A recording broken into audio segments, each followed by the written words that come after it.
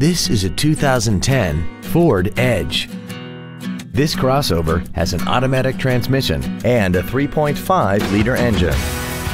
All of the following features are included. Traction control and stability control systems, cargo tie downs, front fog lights, leather seats, fog lamps, and an anti-lock braking system.